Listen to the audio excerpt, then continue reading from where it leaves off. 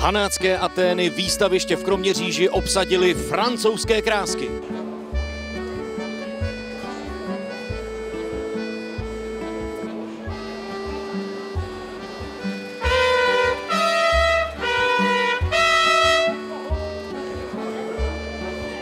Užil jsem si to, i když čím jsem starší a váhově těžší, tak tím méně místa tam mám, ale bylo to, bylo to pěkné. A všichni z těch účastníků, co jsou tady, to chválili.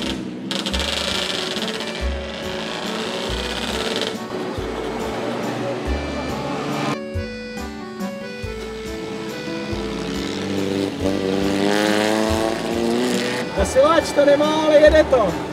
Tak 160 koní z roku 38, to je znám.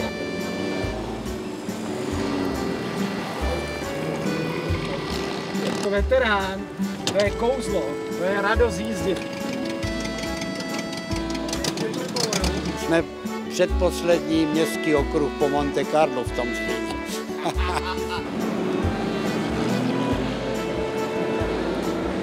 No je to nádhera. My jsme byli včera se podívat ve Zlíně, kde jsme tady ty bugetky viděli přímo jako naživo v závodu a dozvěděli jsme se, že dneska tady budou vystaveny ještě společně s dalšíma autama, s těma Poršákama, tak to tady s mladým obdivujeme. No.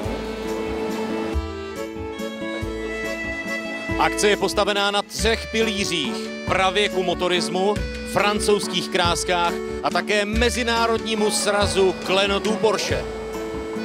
Výstava je fantastická, auta jsou tady pěkný. Líbí se mi tady náramně, počasí vyšlo, je tady spousta aut nádherných. no je to nádhera, tolik krásných aut vidět pohromadě, to se asi hned tak nevidí.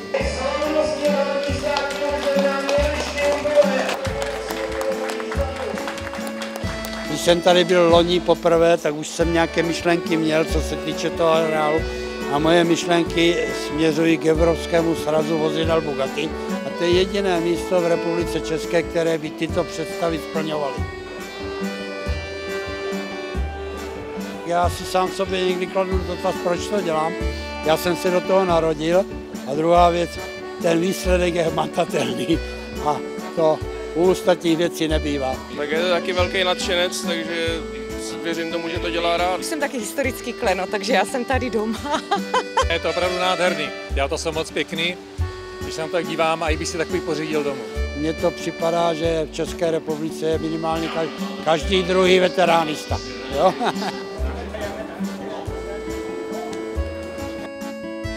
Tak to byly francouzské krásky. Zdravím vás z výstaviště v Kroměříži, kde se pořád něco děje.